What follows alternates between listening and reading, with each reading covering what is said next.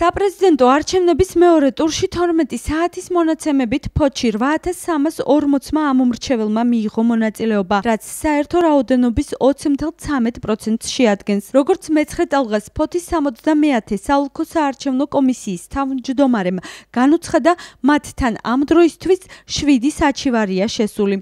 სალომე როდონაიას განმარტებით, საჩივარი ძირითადად პროცედურულ დარღვევებსა და გარე აგიტაციას ეხება.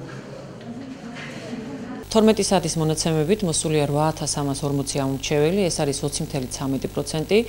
რაც შეეხება საჩივრებს, ალკოში შემოსულია 7 საჩივარი. ეს არის ძირითადად პროცედურულ დარღვევებთან დაკავშირებით, რომელიც ადგილზევე არის აღმოფხვრილი, ასევე არის საჩივარი გარე აგიტაციასთან დაკავშირებით. შემდეგ ამაზე უკვე კომისია იმსჯელებს. რაც შეეხება დღეისდღე ეხლანდელი მდგომარეობით, ამომრჩეველი მიდის უბანზე, აფიქსირებს საკუთარ ნებას და ჩვეულებრივად ჩვეულ რიტმში მიმდინარეობს ხმის მიცემის პროცედურა უბნებს. ფოთში სულ 41421 ამომრჩეველია რეგისტრირებული.